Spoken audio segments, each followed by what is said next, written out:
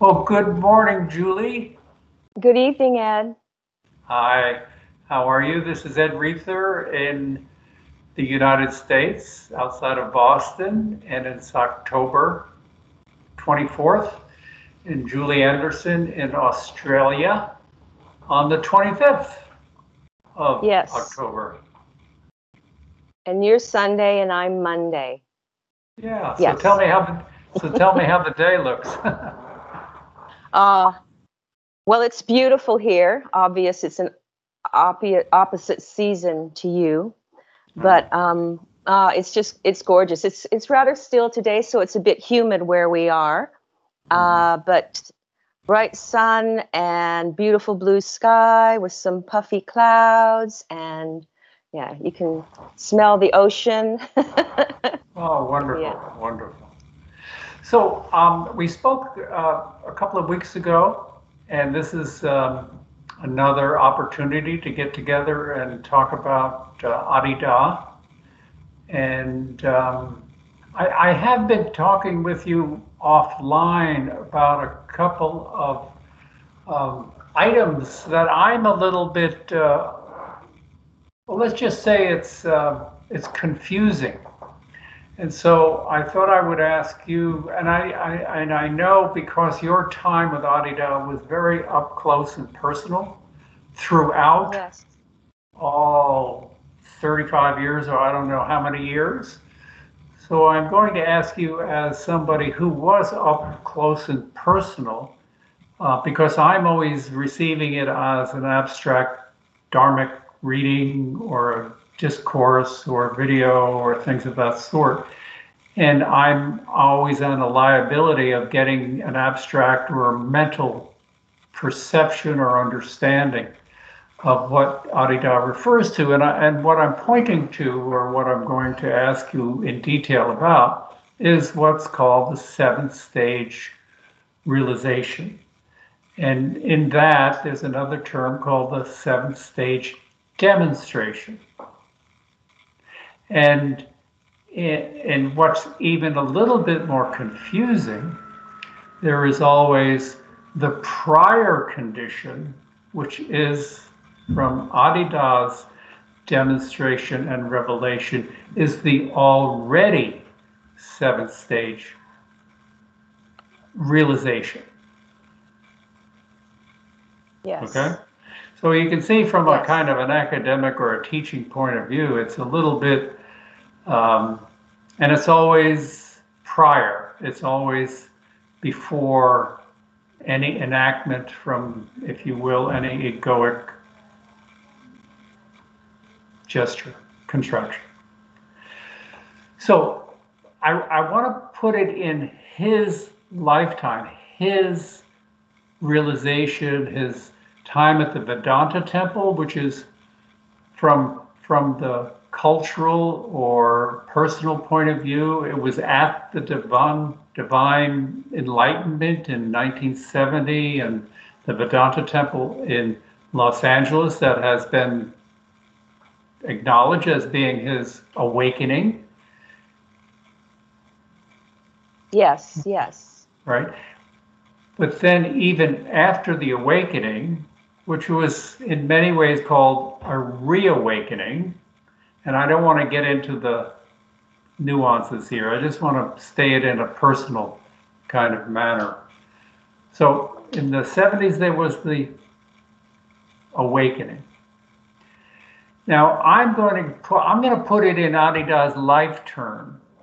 So, for me, the simple way to say is, as I read it, there are three phases or parts to the seventh stage, full seventh stage translation or ultimate perfect divine enlightenment. Yeah. Right. So, as I was saying, I would like to put this seventh stage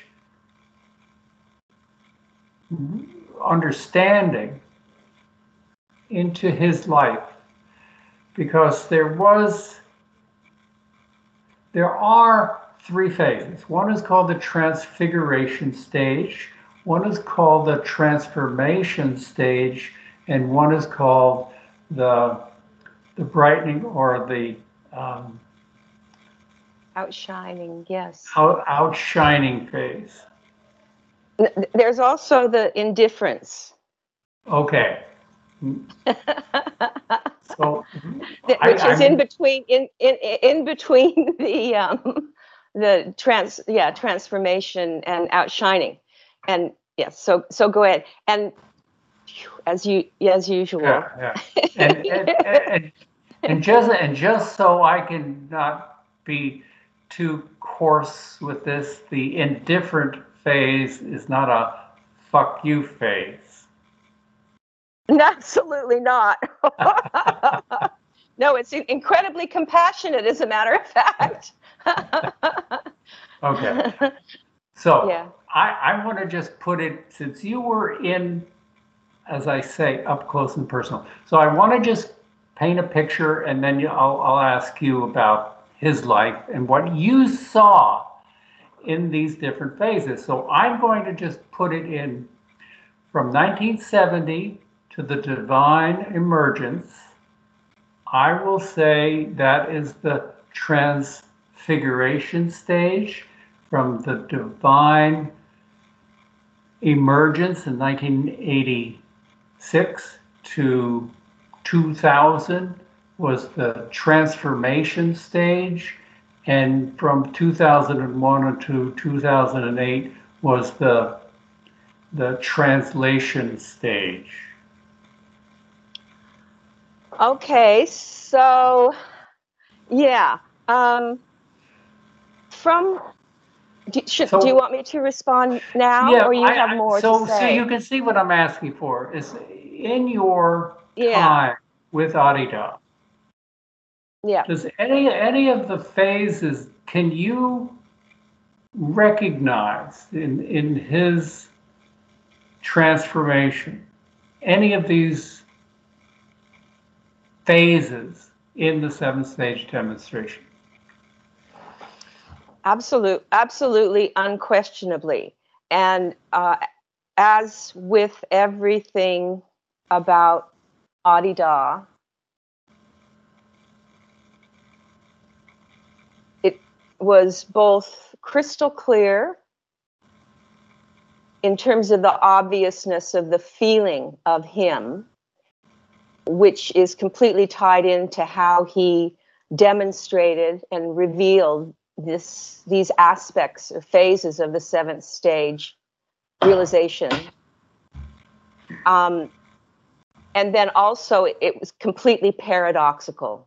In other words a, a koan that the um, devotee uh, beings the world is always being confronted by that was intended to stop the mind and the body's and the heart's seeking urge to be able to comprehend the gifts that were being given by Siddha. So, in living with him intimately in the years that I did and began to know him from 1975 through his teaching word and and the initiation I received prior to coming into his company, physical company, um, the the the phases that you were describing i'm speaking now in retrospect because of not knowing a lot or anything really when i first received all of the the gifts of his realization and his person. Um, my understanding now and after having studied and, and practiced an incredible ordeal of intimacy and tapas and in his direct company and in the world and with family, everything, you know. Um, the one one thing that has always been abundantly obvious is the feeling of his person.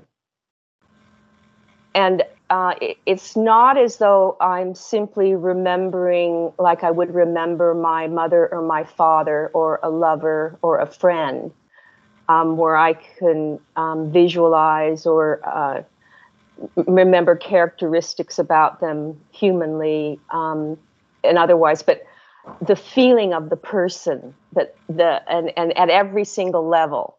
So I could I can remember and feel his his skin, um, the the feel and the touch of it and the smell of it and the um, in sensory fashion. I can feel him this way, and I always it's always imbuing this my psychophysical being, and therefore um, it's it's um, become an, a very interesting noticing or observation that everything that I do and I live as a, as a gross body mind is imbued or informed by that at a, a such a profound level that I don't have to um, uh, intentionally or ritually or whatever in, in, invoke it or remember it. It's like it's a perpetual process of that feeling of his being um, at that level, but also that is so with the emotional being, feeling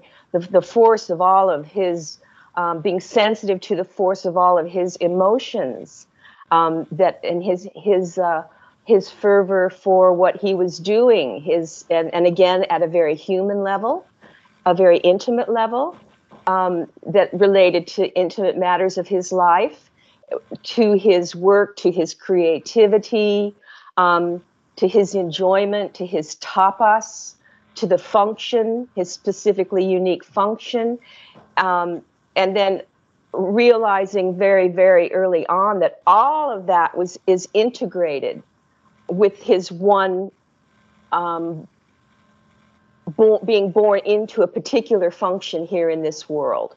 Um, so there's and then there's the mental level, you know, of of cognizing rec- um, recognizing um, not just merely through thought or, or through uh, perceptual or conceptual means or mechanisms, even with the higher mind.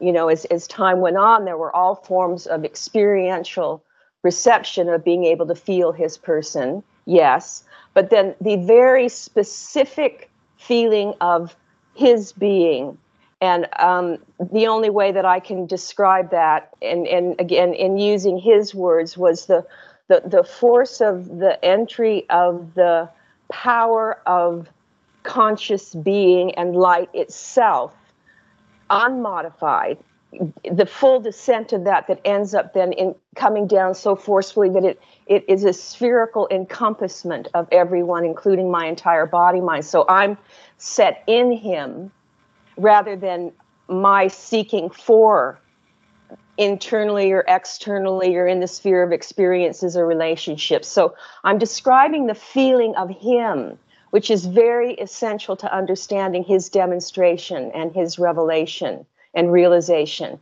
and what you're asking about relative to the four phases of the seventh stage way. Um, so just as I was able to, with complete unknowability, entire mystery. The fact that at 18 years old, I'm this flibberty gibbet of a girl that is, um, what you know, from my perspective, a, a very troubled girl actually, because life was not okay by any stretch of the imagination, and um, but I was still functioning and achieving and succeeding in different ways. But then suddenly, unexpectedly, Siddhartha enters my life, um, and and not just in a very like questionable fashion, like hmm, do I have a choice about this, you know, or is it? It was all consuming in terms of the and we've talked about this before, but as I'm describing this, he enters this being, this psychophysical being, okay? So with Adi Da, when you hear when you read about him or you hear him speak about his life and as he did with us intimately all the time and this wasn't just a verbal communication it was an obs- a constant observation of at a very visceral and feeling obviousness and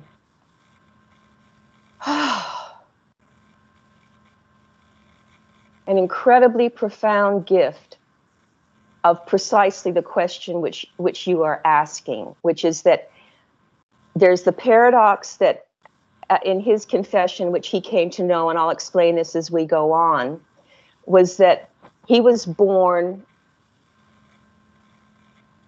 as the bright, yet as he describes from birth and at a very specific point in in his very early life, his feeling intuitive feeling sense of his condition and everyone and everything was this bright fullness. This he was awake in the conscious brightness of this fullness and this love which doesn't require any kind of of um, verbal capability to be able to comprehend that. It doesn't require anything of the being. It's simply the condition in which everything arises and conscious conscious identification with that that was his condition sitting in the room as a baby you know, just describing the feeling of that tacit intuition and full comprehension and the bliss of it and the samadhi of it.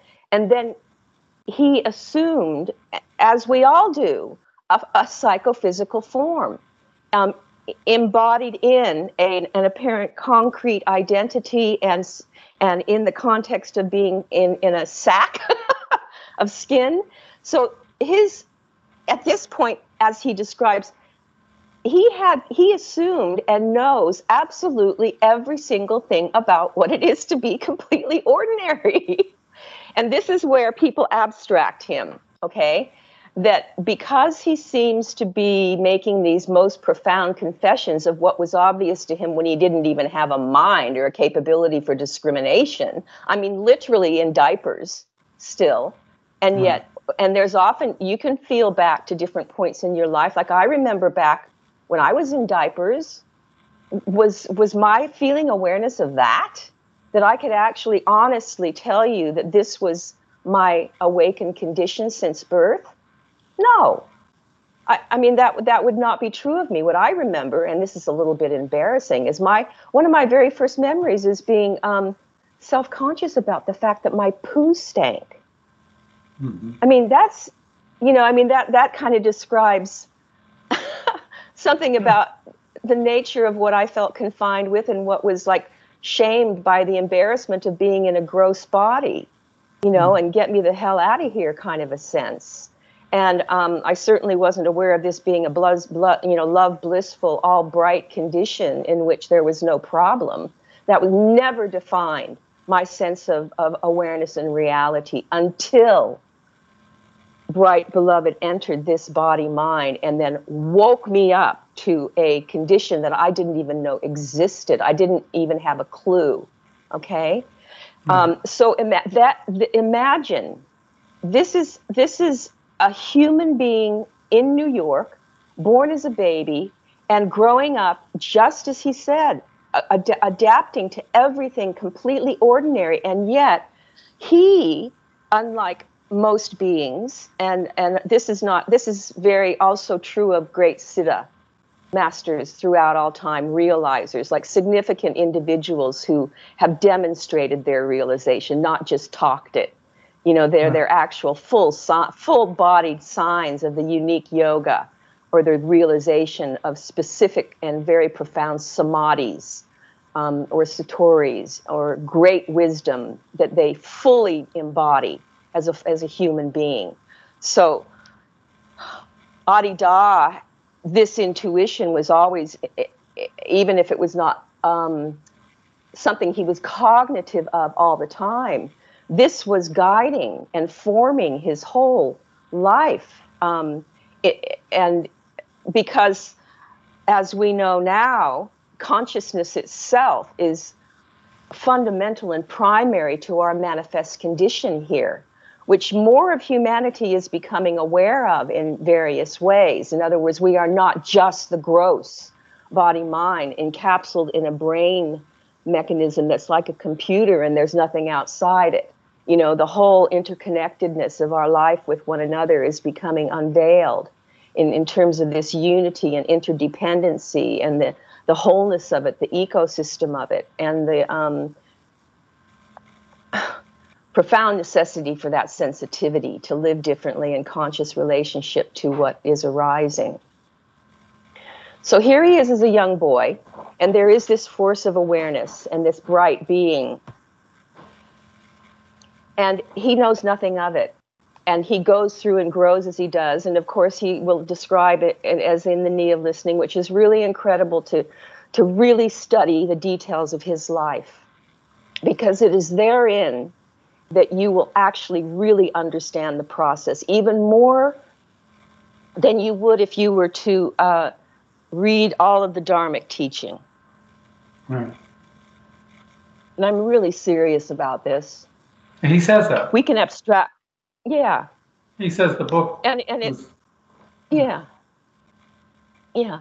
And um so and for me personally, I likewise feel that that's the lesson that I have received is that it was it's through his bodily human form and the actual process of his demonstration in relationship that has awakened me in terms of the being uh, consciously awakened the process of, of his demonstration and revelation and the uniqueness of conscious light in terms of how we what we do in relationship to that that bars us from living in this fundamental reality truth.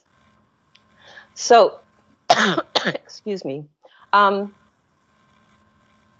I'm feeling into, as time has gone on, feeling into how much more sensitized I am to his person and his life as I mature in the, like, oh my God, what has happened? What has he revealed? This extraordinary, I, I didn't even have a clue. You know, I'm still um, like a babe in the woods in terms of realizing the profundities of what this human being manifested and in a greater appreciation for all human beings who have endured this process of tapas and this this the the the function of teaching or instructing or or serving the real true guru saints and sages and siddhas and realizers and the ones from the from the the realms and the dimensions that our brain mind doesn't even allow us to um, contact that that all of these uh, realities actually are literally real. So um, Adi Da went through his life um, in in in that same process of having to grow up, you know, to realize once or reawaken, as you describe at the Vedanta Temple event, to the native condition and it's described in the ordeal that he went through, which is is remarkable. Um, and but what occurred in that event for him was unique to his function, which was that at that point, because it he he went through the process of the transcending, which was revealed to him by the bright. It wasn't something he thought of or he made up. He was, as he described, utterly surrendered into the condition of the bright without any sense of of um, knowledge or technique or seeking. As a matter of fact, it was actually the opposite. Everything that he confronted or came in relationship to prior to the Vedanta Temple event, he noticed not sufficient, not not not enough, not it, not heart satisfying, doesn't meet the mark. I am not a devotee of this. I am not a devotee of this and it was only in fully when he um, assumed the form of the bright as the self condition that he's he in the Vedanta temple realized this is the truth of our condition. This is it. Well, if I'm not mistaken, when he went home after the quote unquote event, he didn't notice anything different. In fact, he, if I'm not mistaken, went home and watched some television with the people who lived in his house. But it was only after the day's passing did he fully understand what had occurred. Right. Yes, yes, yes. And and this is many I've noticed uh, him speak about this from very, very early on, all the way through, where all, everybody was a bit baffled. Like, you mean it wasn't like a big, huge event? Right. Everybody's envisioning that somehow or other the Enlightenment, that there's some kind of moment or event or big hoo ha or like, you know, some big gigantic orgasm, you know, a bliss that then eternally radiates and you're constantly having this experiential phenomena. Um, no, no, no, no, no, no, no, not that. That was exactly what he said is not it, not uh-huh. it. And and and the reason for why that is the case is because um, consciousness itself, even as it is most perfect, even as it is most fully realized in the the tradition of the Gyanis, for example, a, a real actual realizer, not a philosopher but the Gyani that has been spiritually established in the right side of the heart prior to the, the causal knot of the sinoatrial node, you know, in the yoga, the esoteric anatomy.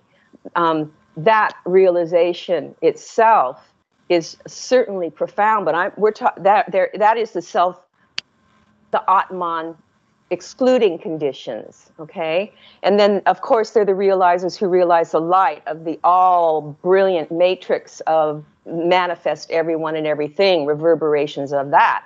There is that realization also. So there's the realization that is the ascended nirvikalpa of the bright of the light, and then the the nirvikalpa, jnana nirvikalpa samadhi, which is associated with the Atman. Okay, so I'm describing this because what Adi Da realized in the Vedanta temple was the union of the Atmanadi, the Amritanadi, the regeneration of the Amritanadi. And it was at that point that the um, where he describes transfiguration and transformation in the seventh stage demonstration actually encompassed his entire life from his birth because even though he wasn't cognitively aware of the bright guiding him all the time he did he he he began to be aware of it, but it, the bright manifested through many teachers and many many forms that were guiding him through his whole life.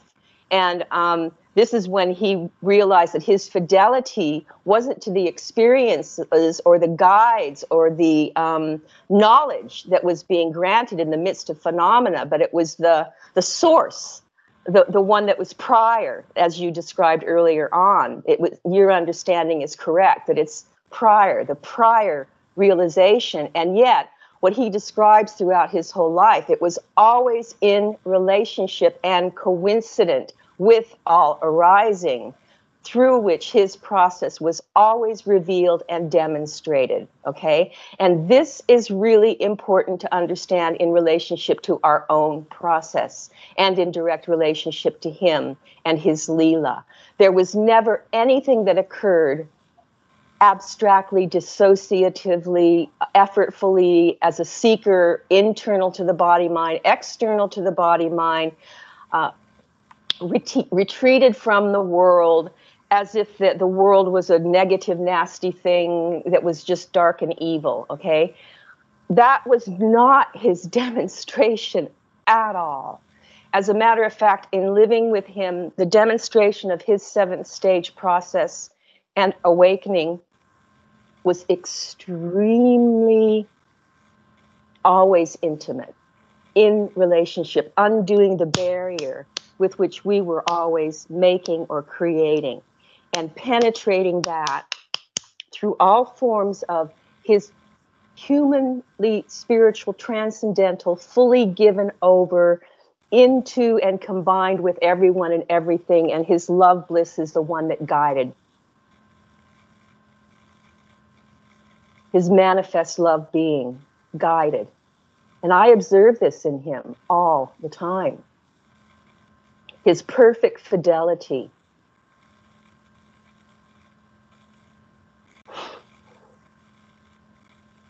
Literally, his perfect fidelity to, to being shown by truth itself how to serve his function and therefore for the transfiguration, transformation, not just in relationship to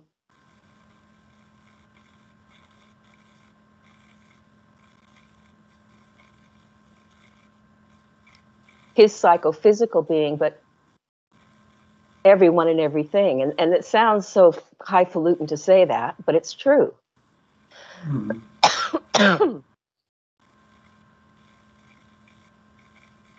and and partly what was so important about how he functioned in his demonstration is that it was utterly dependent upon relationship, right relationship, because as he indicated that that everyone and everything that arose were his was his beloved was his own form was love bliss was was the the one that was guiding him by virtue of the recognition response to his person. And these are extremely fine esoteric points but they actually aren't they aren't um, they aren't abstract. Like it doesn't require profound intellectual intelligence. It doesn't require anything of the being except for the native intuition and the surrender of the individual to be able to be to receive this with greater and greater capacity to conduct it and to allow it to master the body mind. I, I, I, just want to pick up on one thing that you said that the um, his demonstration required a response. His demonstration required, since it was always in relationship, or as you said, in context to the most intimate people around him, which was his devotees. And so I was reminded of everything from being the world teacher to him when devotees recognized him in that particular form, whether it be the thousand arms of uh, Teshvahara or the divine, it was re- it was the requirement of the response that allowed the revelation to come forward, or it really so much depended on the understanding or the response that people had to what you're speaking about, to who his true form was, what his true yes. function was. And exactly. Without, without that recognition, all of this is just chitty chat. Exactly, precisely. Right. And he he repeated that endlessly, endlessly, endlessly it, his life had no purpose apart from the response. Right. None, none. Because in the Vedanta Temple event, all seeking as a seeming separate individual of Franklin, Franklin Jones ended, completely ended. And as you will recall, if you studied his life, he indicated at that point in time, he began to notice that all that was arising was relationship with everyone and everything in his own psyche, in his own body mind, in his own being. In other words, he realized the non difference, the non separation, the absolute prior unity within which the conscious, aware, feeling being, the self, the, the divine reality self, actually is not separate from anyone and anything at all. I'm so there was also, no ca- capability, no capability for recoil. Also, I was recently doing some work with Ken Wilber and his writings. And one of the criticisms that Ken Wilber wrote in his writings and told his followers or his students or whoever. The criticism that he had with Adi Da, and this is exactly to the point that you're speaking about, or the the, the, the, the misunderstanding as as I hear it, and Ken Wilber's misunderstanding. He said, if Adi Da was truly a world teacher, he would enter the world as a world teacher. He would come into the world in the position or the in the proclamation of that. And what I'm hearing from you, and my understanding also, is that it was required of the the person or the the people to recognize Adi Da, not Adi Da to be in proclaiming anything to you, to the person, to the world, as if he was just a person with a great message, like a prophet coming in, or Jesus walking into a marketplace, performing miracles, or whatever. Is that this whole thing is thrown on its head in a lot of ways from the conventional understanding of a great revelation or a great awakening that was given to him. Says this all this duality that gets confused where people don't fully understand. It's really truly your you you the the person individually have to wake up to some level of comprehension. Not that that comprehension can actually be given to you it's almost like riding a bike. I mean, you can talk to people about how to ride a bike, but guess what? You have to get on and ride a bike. You have to do it. Yeah. So people can paint pictures, uh, write books, and talk and talk and talk and talk, but it's always that subject object. It's like there is out there. You got to go to the, you know. It's it's it's a it's a very complex and as you were pointing to an esoteric understanding truly. Yes yes yes.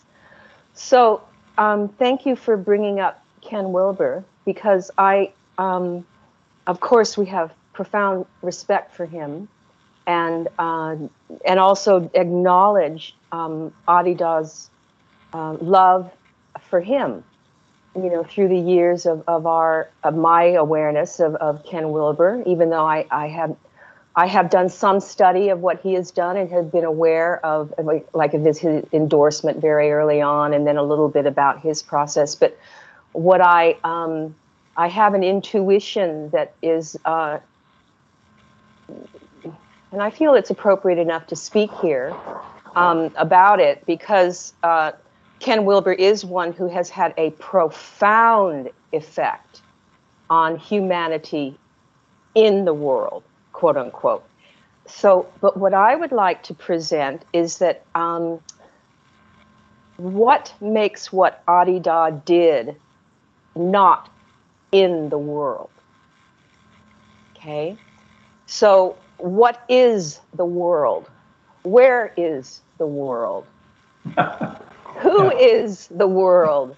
Why is what we did not part of the world? And I can particularly ask this question because Ani Topper said to me, Ah, the world has come to me at last.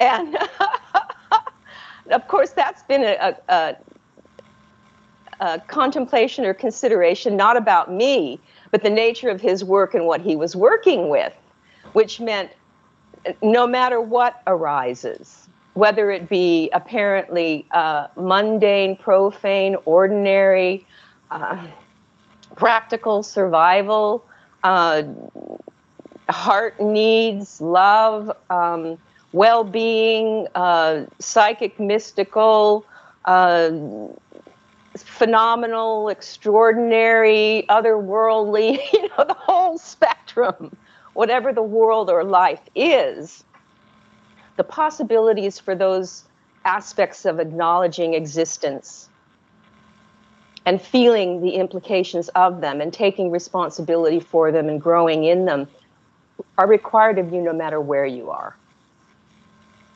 no matter who you are.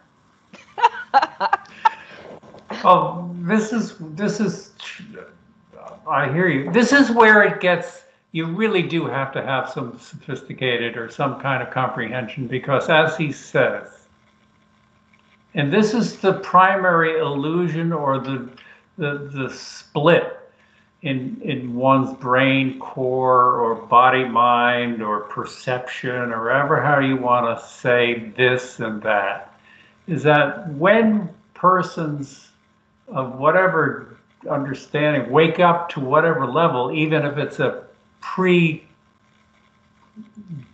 developed mind like Adi Da had, what he has always been pointing to is that there isn't a world that is separate from who you are. This is the paradox of where what we're really speaking about.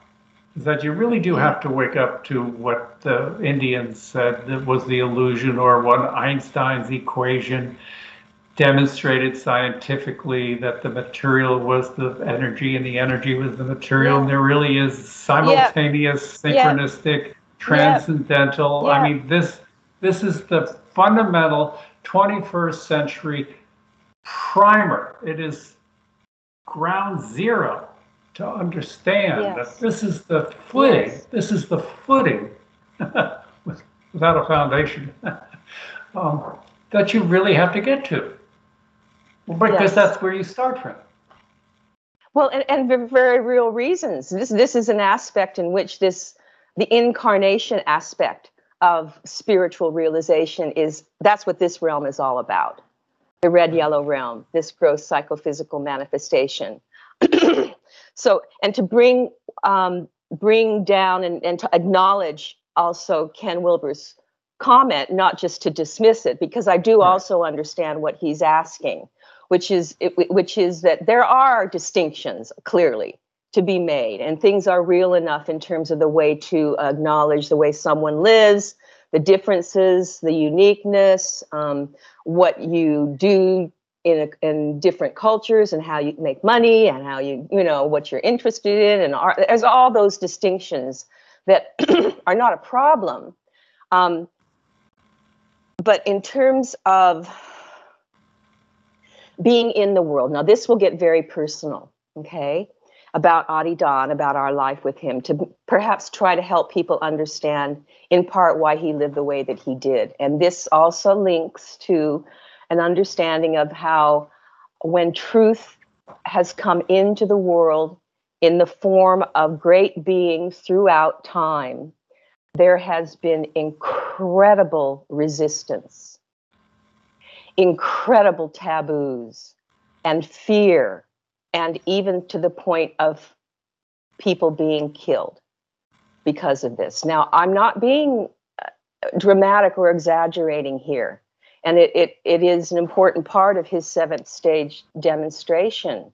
Is that um, it isn't true that he didn't enter into the world at all. It's just simply not true because he was born in the world, he lived in the world. It was not until as you in, in, the early 1970s that he began to interact and work with people he was in the world at that point established his own bookstore i mean took full responsibility for what he had to do in the world with devotees based upon how people were responding to him and what he noticed about how the his meditation was no longer about separate self subjectivity but was established in realization and that that was the nature of his relationship that was what he recognized in everyone and everything was the same self condition and thus he worshiped his devotees as his own form as his own bliss as his own beloved.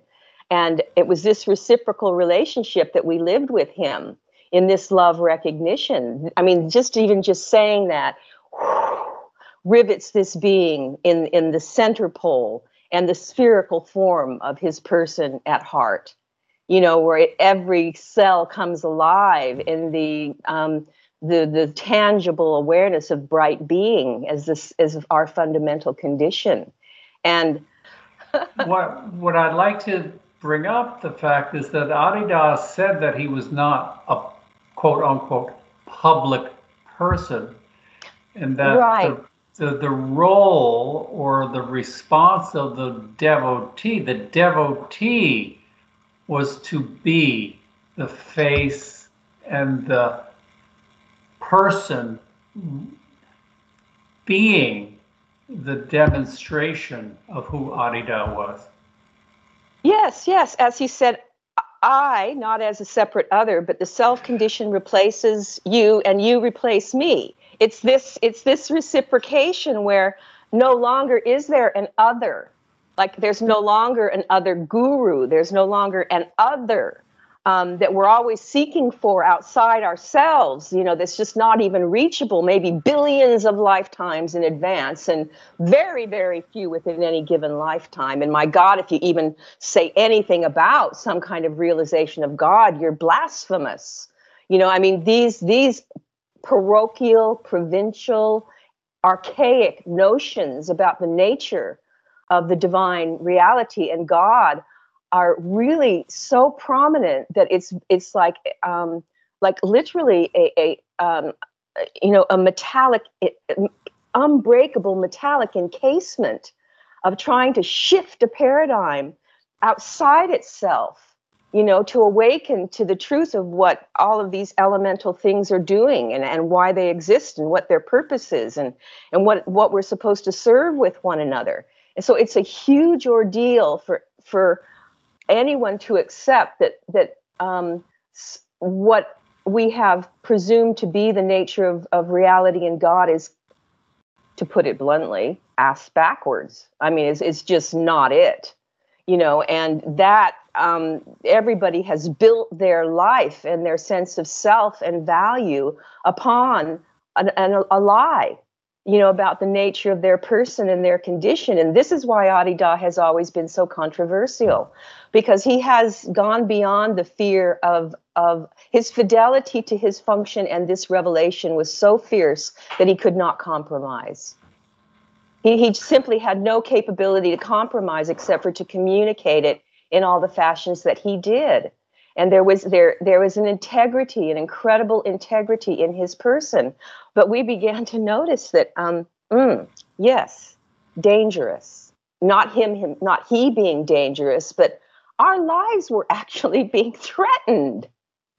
Well i'm not you know i i'm a student of many different disciplines and i can mention just a couple. One one that i'm recently involved with is the law school at harvard now that i'm close to boston and when I okay. listen to somebody like Noah Feldman, who's a professor at Harvard, and he's a constitutional scholar and biographer of James Madison and knows the when you listen to the the genius of somebody like Noah Feldman, who speaks in historical terms about conflicting things with uh, Alexander Hamilton and James Madison, whatever. You can, and then the trying to work out the Constitution and different differences. You can see that there's a certain point that they will not go beyond, and that is actually destroying the structure and that's really what is required to fully understand because you can't hold any architectural, historical, the savannas of, of, of, of Africa being the formation and the, and, the, and the beginning of time and history and mankind and, uh, you know, from Cro-Magnon man to agriculture, this kind of linear, sequential material development of time. That, to, to, to understand Adi Da, you really cannot hold to Ooh. these abs, mm. absolutes of, of this, what really is a 17th century invention or through scientific understanding and all of this stuff.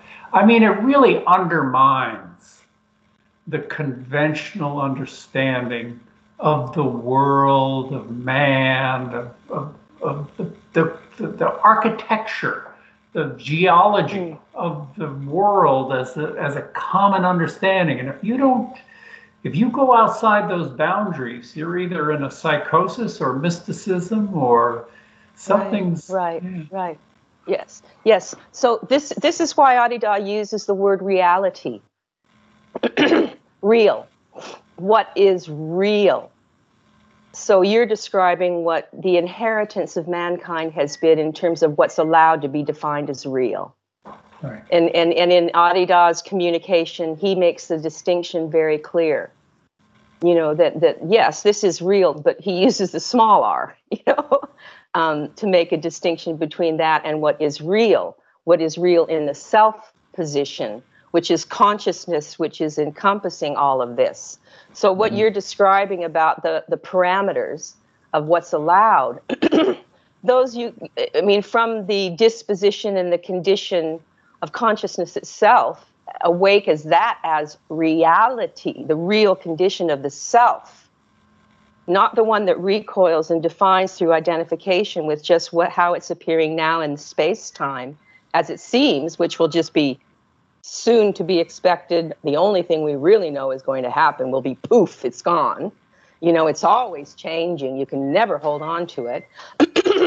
Um, i keep feeling i keep feeling the force of his presence so strongly in terms of the paradox of what we're speaking about Right. that um, And then yeah. anchoring it back an- anchoring it back into um, the present reality is that yes well it, it, it is confounding it literally uh, dissolves the mind Yes, it does. in It does. terms it, it, it does and, and i just keep feeling that falling into you know and then my heart opens up and i feel um, incredible compassion um, and and i want to speak then to how beloved demonstrated that like i indicated in this in the phase of the seventh stage um, processes where at the point where he um, was so submitted in the world to people off the street for so long, where we just came and asked him all sorts of questions. And it was that even he was involved in his process of transfiguration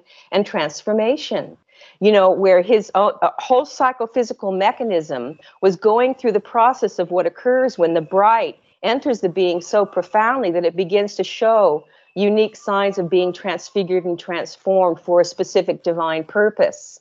And we notice those signs in him. It's obvious when you look at him. Look at all the many changes that he went through. Um, you know, look at, let what he um, manifested and reflected in direct relationship to anyone and anything or anything he was considering.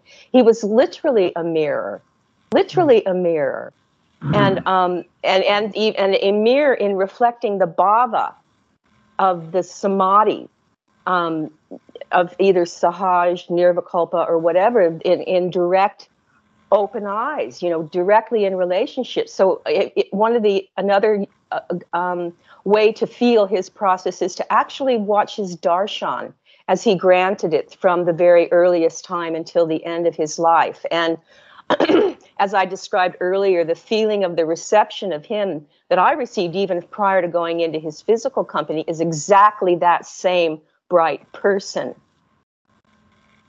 Literally, that's how I know Adi Da. And the knowing is a, is a heart knowledge. You know, the, the Amrita Nadi, the form of love bliss, the bright itself.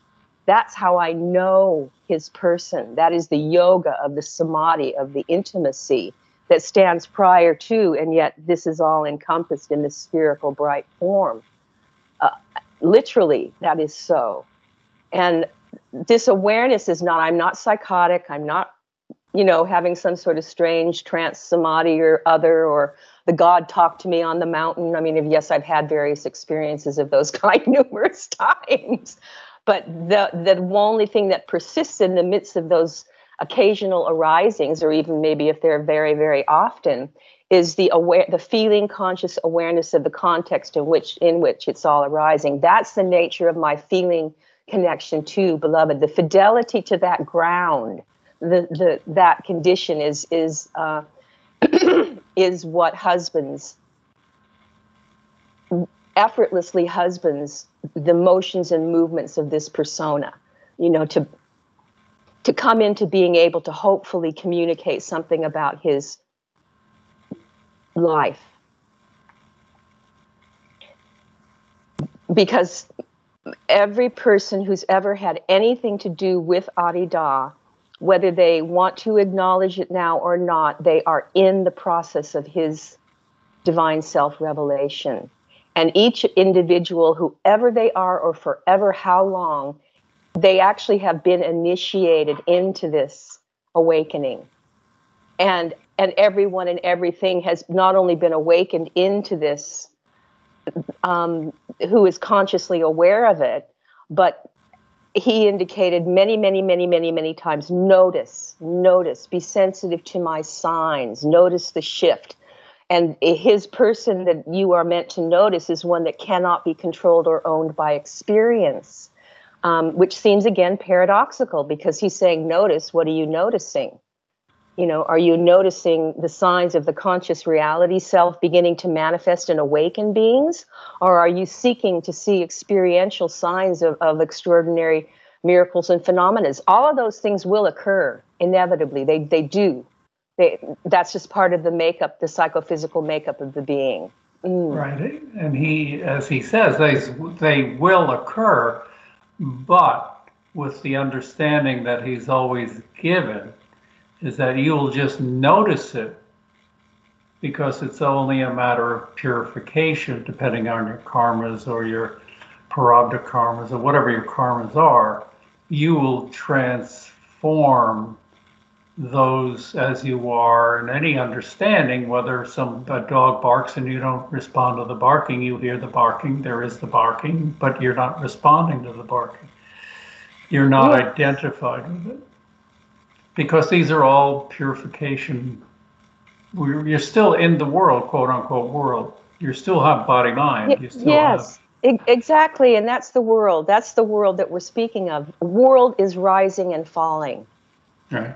Perpetual, right. Mo- perpetual motion machine of rising and falling of every possibility. Mind is world. World is mine. She is mine unhusbanded, it's chaos. Husbanded, it is a beauty, a creative art form through which you make use of all of the elements to serve the divine awakening purpose. So I want to go back to the original question about the transfiguration, transformation, and the translation and the indifference. It seems like this is only really occurring in the renunciation of the realization, in the movement away or transcending the world. It seems like the transfiguration, the transformation, the translation, the indifference are all occurring within the renunciation phase or the renunciation aspect of the realization? Well, mm, okay, so that's a very good question and and and good um, point to to to agree and clarify. Um, and maybe because I'm looking way, at the time, I'm, I'm oh, looking oh, okay. at the time. Maybe to pick up if you will, if okay. we could hold, if yeah. we could hold, yeah, we could hold hold that. Yeah. Yes. Yes. Yes.